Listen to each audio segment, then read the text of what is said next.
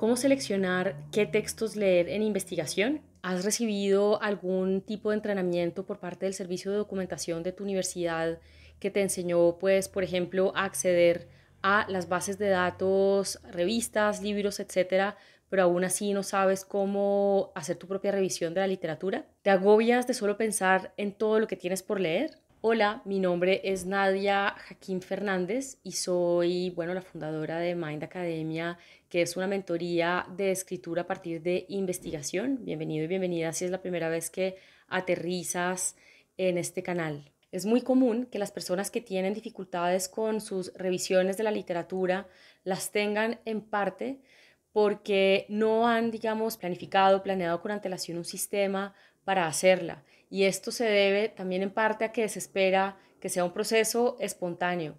Al mismo tiempo, en los cursos de métodos de la investigación en las universidades, bueno, el entrenamiento al respecto suele quedarse en enseñarnos la manera en la que se accede a las bases de datos. Entonces, a ver, hay que, que, decirlo. Claro que, que, esta habilidad es, digamos, una cuestión muy, muy básica que todas y todas las que nos dedicamos a la investigación deberíamos saber. Pero si pese a haber hecho pues un curso como esto, sigues teniendo dificultades, pues es muy probablemente porque estas herramientas no solucionan algo muy importante de lo que te voy a hablar a continuación. Pero antes que nada, te pido que por favor te suscribas a mi canal para que no te pierdas ninguno de mis videos con recursos para apoyar tu proceso de escritura a partir de investigación y bueno, recursos también para solucionar dificultades habituales a la hora pues de organizarte y escribir. También pues suscribiéndote me ayudas a que este contenido lo pueda ver pues eh, personas que lo estén necesitando justo en este momento. También decirte que ya tengo un video sobre los tipos y funciones que tiene la revisión de la literatura, por lo que pues te vas a dar cuenta si lo ves que podemos hablar de revisiones de la literatura. Nunca es una revisión de la literatura así en singular, sino más bien en plural. Y te pues recomiendo que le eches un vistazo y pues te va a aparecer aquí el, el link de acceso. Ahora te voy a compartir tres preguntas que te van a servir como punto de partida para que hagas tus revisiones de la literatura de una forma planeada, estratégica, con algunos criterios iniciales bien claros para saber qué textos tienes que elegir, ¿de acuerdo? Esto es importante porque nuestro problema no suele ser la falta de información por lo general.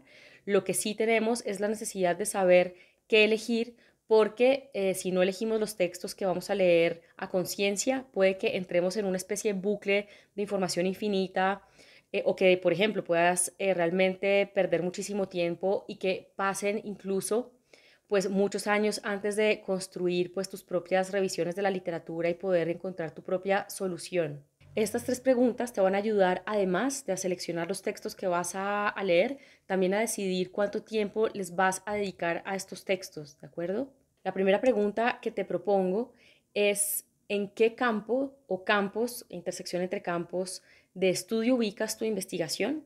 Y entonces lo que respondas a esta pregunta ya es un primer filtro con lo que podrás descartar las lecturas, autores y autoras que desarrollen temas que digamos están conectados con tu tema, pero desde otros campos que tú en cierta forma estarías descartando.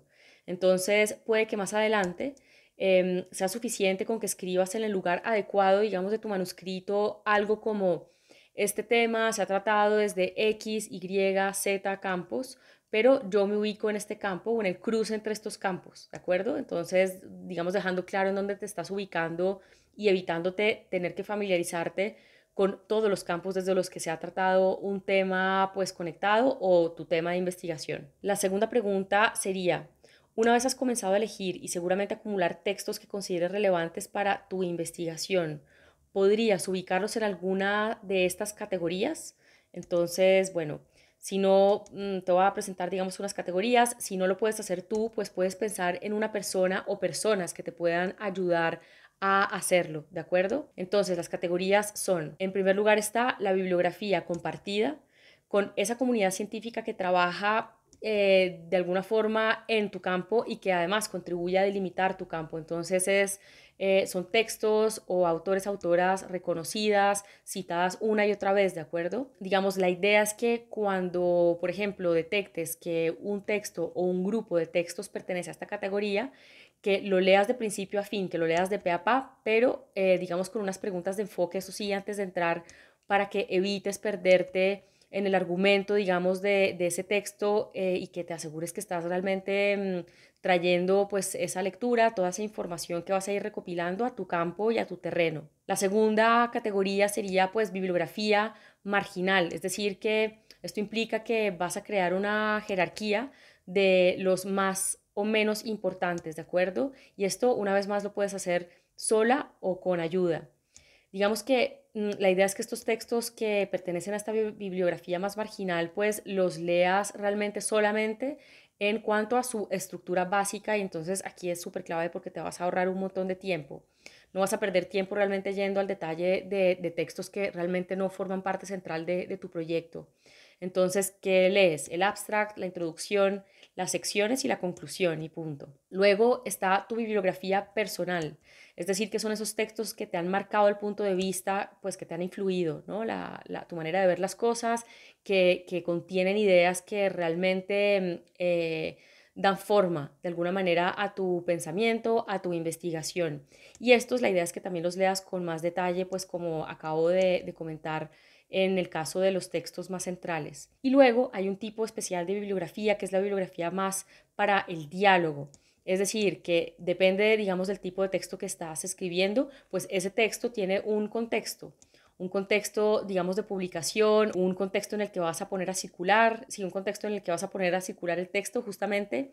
Y entonces, eh, digamos que mm, esto implica que vas a incluir textos que están conectados con tu, con tu tema y que de alguna forma tienen que ver o con personas que están, digamos, haciendo algunos aportes a ese campo en tu contexto o porque, por ejemplo, si quieres publicar un paper, un artículo científico en una revista, pues entonces son textos que para el proyecto intelectual que viene representado en esa revista es importante. Entonces, autores, autoras, textos que tú ya sepas que de alguna forma eh, son referencia y que pues necesitas eh, no olvidarlos, invitarlos a la fiesta de alguna manera. Y la tercera y última pregunta, pensando en que puedas afinar esos criterios de selección de los textos que van a finalmente formar parte de ese corpus que será la base para tu revisión de la literatura, es si podrías pensar en otros criterios de selección de estos textos que vas a incluir en tus revisiones. Entonces, bueno, un ejemplo puede ser que dejes afuera la mayoría de textos, autores, autoras que tienen, digamos, una aproximación que sea muy diferente a la tuya, que de alguna forma, pues, por ejemplo, estén utilizado, utilizando eh, métodos que no estén de ninguna forma conectados con tu proyecto o con los que no estés de acuerdo eh, o que, pues, no te interesan eh, ya directamente y digamos podrías también elegir pues em, incluir o excluir textos que provengan de, de, ciertos contextos geográficos. Eso sí ojo porque esto se presta mucho a terminar digamos incluyendo las discusiones dominantes que por lo general vienen del mundo anglosajón y dejar fuera, pues, por ejemplo, otras áreas geográficas que son del todo relevantes para tu tema de estudio, pero pues por un tema de convención dejarías fuera, no te lo recomiendo.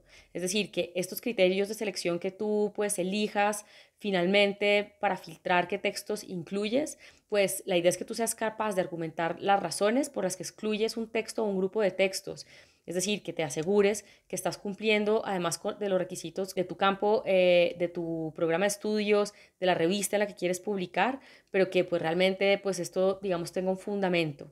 Bueno, esto es todo por ahora. Espero que estas tres preguntas te ayuden realmente a hacer este trabajo tan importante de selección de los textos que finalmente vas a utilizar y pues tener una cierta jerarquía que te ayude a discernir cuánto tiempo le vas a dedicar a según qué textos y cuál va a ser, digamos, el sistema de, lectura también que vas a poner en marcha. Y bueno, pues eh, me encantaría escucharte, bueno, más que escucharte, leerte en los comentarios de abajo, si tienes alguna sugerencia, alguna experiencia eh, personal eh, o cosas que hayas observado que quieras compartir pues con esta comunidad que se reúne en este canal, en LinkedIn y pues sin duda alguna en mi newsletter pues te invito a hacerlo aquí abajo. Bueno, un abrazo y hasta pronto.